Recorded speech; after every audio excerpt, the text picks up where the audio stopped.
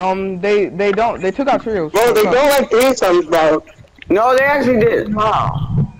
What did you just say, bro? Just ready up, uh, bro, please. Nah, say what you just said one more time, bro. Oh, I could clip it and